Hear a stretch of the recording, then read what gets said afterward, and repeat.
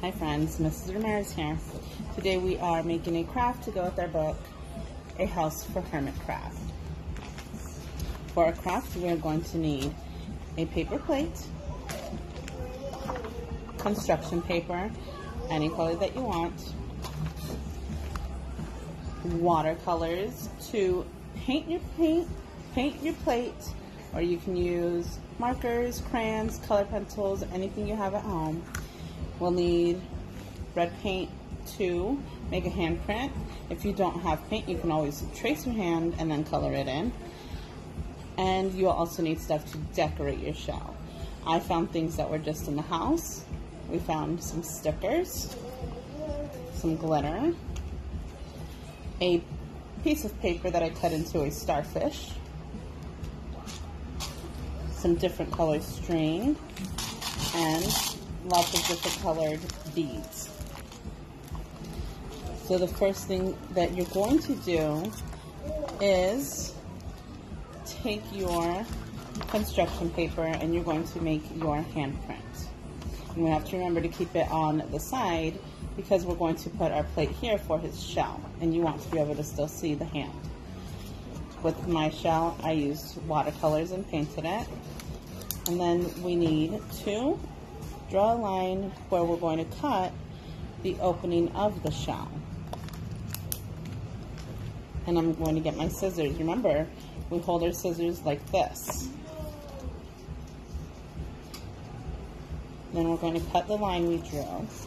And if you need help, you can ask for help, but we always have to try first.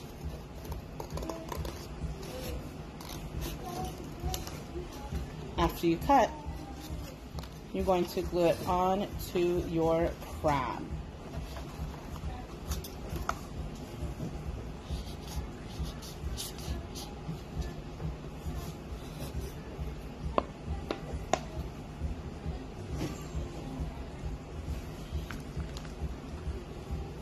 Now, in school, we always say to use a little glue, but for this project, we need lots of glue.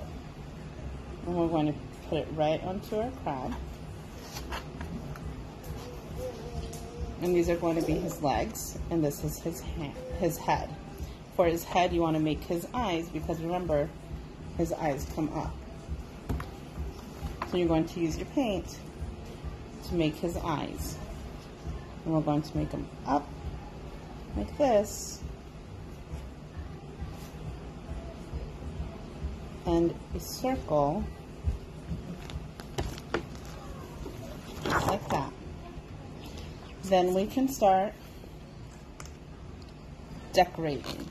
So you want to put glue in the spots that you want to put your decorations. And I'm just going to put them in different places I'm putting my starfish. And I'll put some string. And this can be like the anemone that we saw in our story. And some things are going to need more glue than others. We'll put that, and we'll put a few beads and then we'll add a couple stickers. And with my beads, I'm also going to use them to make his eyes. You can draw his eyes once the paint draw once the paint is dried, or you can just add something that you found at home.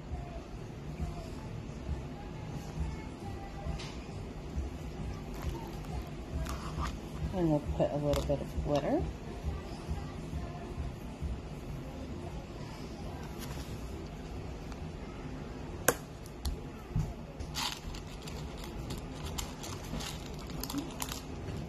And I'm going to use two beads for his eyes.